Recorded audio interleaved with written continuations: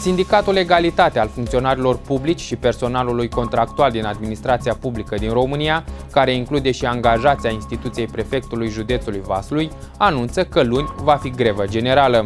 Prefectul județului Vaslui spune că a primit notificarea din partea sindicatului și că speră ca activitatea în instituție să se desfășoare în condițiile stabilite de lege.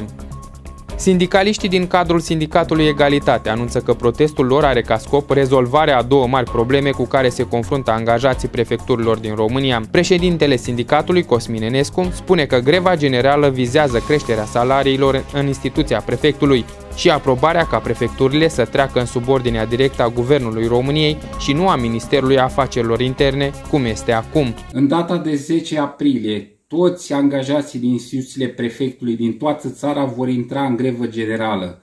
Nemulțumirile lor sunt două. 1.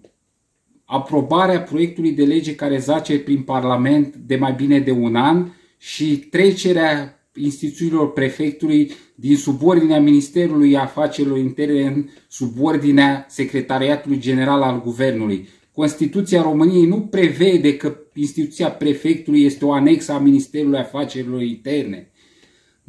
Toți colegii mei au ajuns la capătul răbdării. Toate instituțiile, începând cu anul 2017, când a fost adoptată legea salarizării unitare, așa zisă unitară, că numai unitară nu e, au primit diferite majorări salariale. Noi am rămas uitați singurii din țară. Instituția numărul 1, instituția prefectului, a ajuns cenușereasa administrației. Nu se mai poate.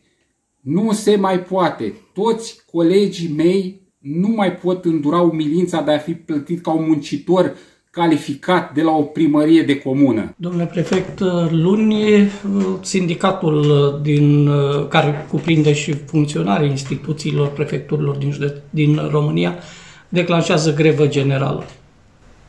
Da, așa este. Am primit și eu uh, informări. Le-am transmis mai departe reprezentanților uh, sindicali. Uh, este dreptul dumnealor să, să-și ceară, să-și ceară uh, ce Drept. consideră dumnealor că merită pentru munca depusă. Uh, suntem alături de dumnealor ca și colegi. De punct de vedere al uh, conducerii, bineînțeles că nu poți să privești cu cu mare bucurie astfel de întreruperi.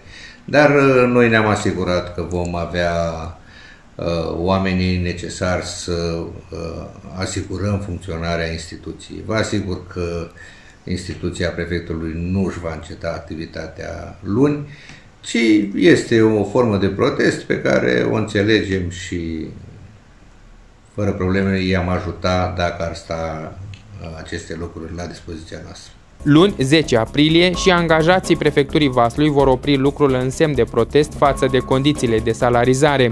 Mai mult, dacă revendicările nu vor fi aprobate, greva generală va continua până ce doleanțele specialiștilor din prefecturi vor fi acceptate de guvernanți.